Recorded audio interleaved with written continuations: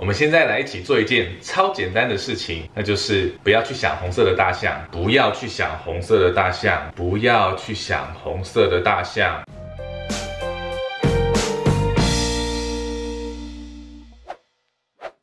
我想大部分的人听到“不要想粉红色的大象”这句话的时候，都会下意识的一直不小心的想到粉红色的大象，甚至整部影片看完只记得粉红色的大象。这个在心理学上面称为“粉红大象效应 ”（Pink Elephant Effect）。台语呢就是“昏蓝的大象的好言”。有时候你会觉得说，明明我讲的就很有道理啊，为什么他就是不愿意听我讲的呢？或者是说，当你的父母或者是你的好朋友在念你的时候，有时候你明明知道他们是为你好，讲的也是对的，可是不知道为什么你就是听不进去，就是没有办法照着对方要你做的来做。根据 Jack Brand。在一九六六年提出的心理抗拒理论，人们喜欢独立自主，只要对他们的自由选择构成了威胁，就会产生心理抗拒 （psychological reactance）。psychological reactance。psychological reactance。这时候非常容易为了反对而反对。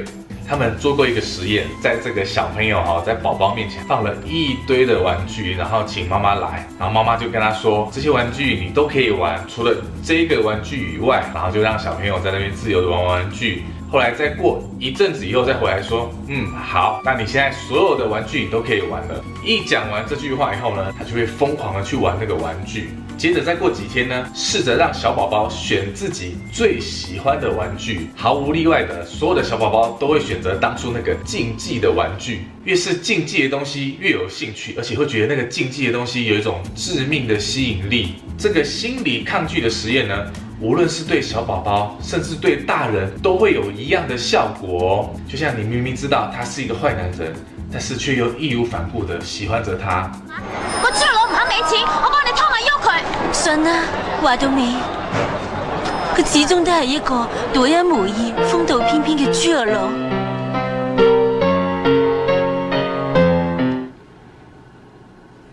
所以人类非常的奇怪，你越要他不做什么事情，他就越偏要做。所以我跟各位说，千万不要订阅我的频道。这个时候你就很痛苦，说虽然他说不要，但是不知道为什么。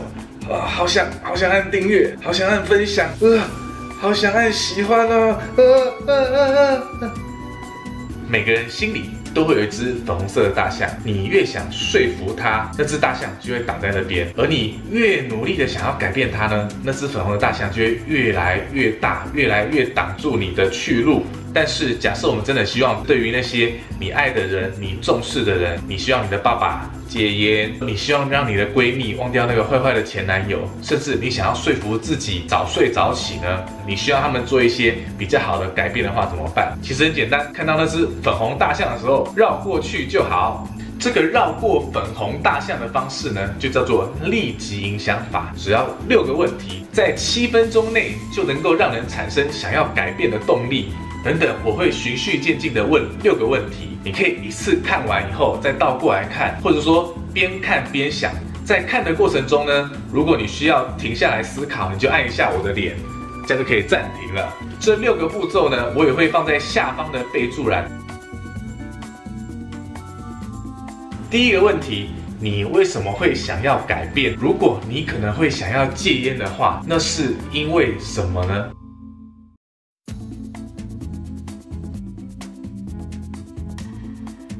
第二个问题，你有多想要改变？而且，请你从一到十为自己做一个评分，一就是非常不想改变，十分就是满分，就是非常想要改变。你有多想要戒烟？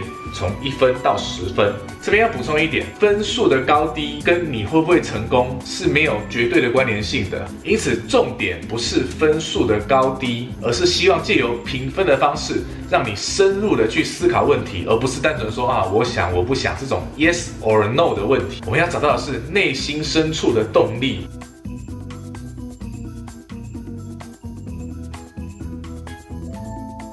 在第三个问题，当分数打好以后呢，你要问说，诶，你怎么没有选择更低的分数呢？你打八分的话呢，就说，诶，你怎么是八分？怎么不会是选七分或六分呢？这其实是一种以退为进。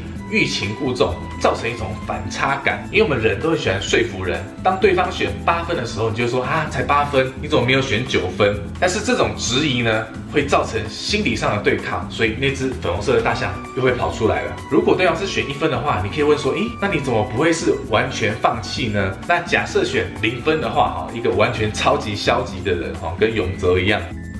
你就会说，嗯，那我们什么方法可以找到一点前进的动力呢？只要找到心里面一点点的动机也好。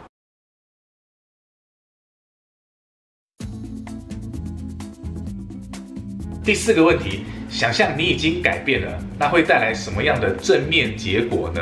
假设你已经开始戒烟的话，会有什么比较好的结果呢？根据研究统计，吸烟跟性功能障碍呢有显著的正相关。你是不是才三十岁就已经成柏林了呢？你想不想成为一个硬汉？你知不知道女生都喜欢硬硬的东西呢？好，硬硬的东西我喜欢软旧啦，钻石啦。那这个问题的目的呢，是让对方有一个很清楚的目标视觉化，让你心里很清楚的描绘出一个已经成功的一个景象，这样会让你更容易达成目标。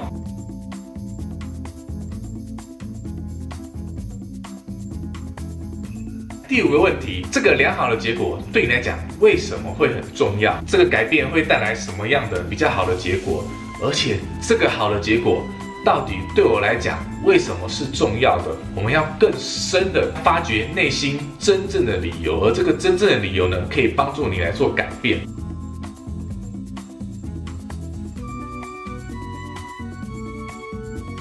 第六个问题，如果有的话，你的下一步行动会是什么呢？那这个问题加上如果有的话，这是要增加一个对对方的自主性，因为你不要说哈，那你下一步是什么？这时候哈，这个命令的感觉就出来。你一旦想要命令的话呢，对方那只心里哈那只粉红大象又会跑出来。但是你假设加了如果有的话，这会给对方一个自主性。当对方有自主性的时候呢，心里的那个抗拒的感觉就不会出来。这六个问题呢，是耶鲁大学医学院教授 Michael V. Pantalone 创立的立即影响法，英文叫 Instant Influence，日文叫做 Instanto Influence。那台语呢？哈，而是就近都会使带来改变的一个方法。它的基本精神呢，其实是不要试图的去说服对方，而是帮对方找到改变某件事情的动机。让对方自己说服自己，比起传统的“你为什么都不听我的？你为什么都不改变？”立即影响法。可以让我们更清楚的看到我们心里每个人心里面都有的那一只粉红色的大象，烟有没有戒掉，其实都没有关系。重点是呢，当你对于你爱的人，你很重视的那个人，与其强迫他去做改变，不如的好好的沟通吧，帮助对方挖掘出内心真正的动机原因。不要一面说我希望你改，我希望你照着我的意思做，不要再虐待那只粉红色的大象。用今天教的方法，让对方自己说服自己吧。如果你喜欢这个影片的话，请帮我按一个赞哦，并且分享订阅。